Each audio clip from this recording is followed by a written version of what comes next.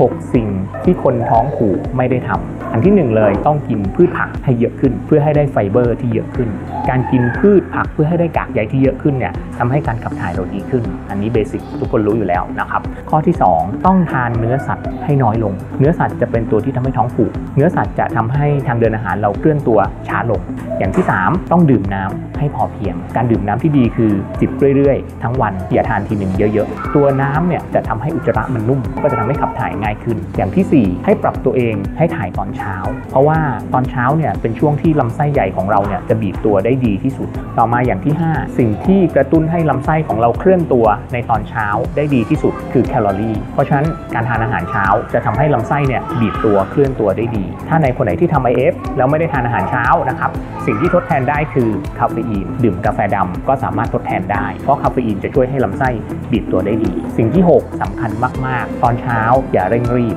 ต้องรีแลกซ์ช่วงเช้า การผ่อนคลายจะทำให้ทางเดินอาหารทำงานได้ดี เคลื่อนตัวได้ดี และนี่ก็คือ 6 สิ่ง ถ้าเกิดไม่อยากท้องผูกต้องทำ6สิ่งนี้ครับผม